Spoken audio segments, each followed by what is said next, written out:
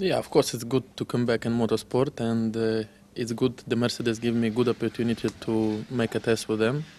So then we will see how it's going.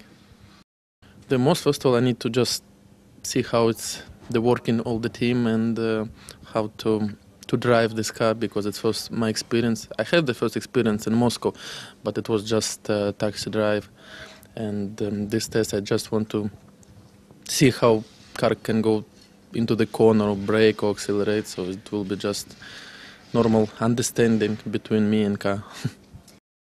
Aims, I think, like I said, I need just to to see how the team is working, and I need to just to feel the car because it's my first experience in a proper car and a proper racetrack. So I need to just to make a f- feeling together with the car, and then we will see. And then I think after a few runs we can start to work on setup.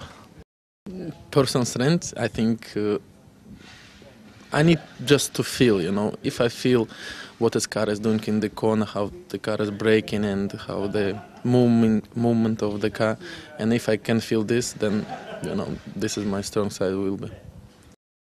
You know, we have some drop, like I said, back in a few years ago when we don't have any motorsport in Russia, but now it's really coming back. Last year was DTM, this year will be F1, so I think it's just coming bigger and bigger motorsport, and then I think in future we will see a lot of Russian driver in um, not in DTM and also in different series.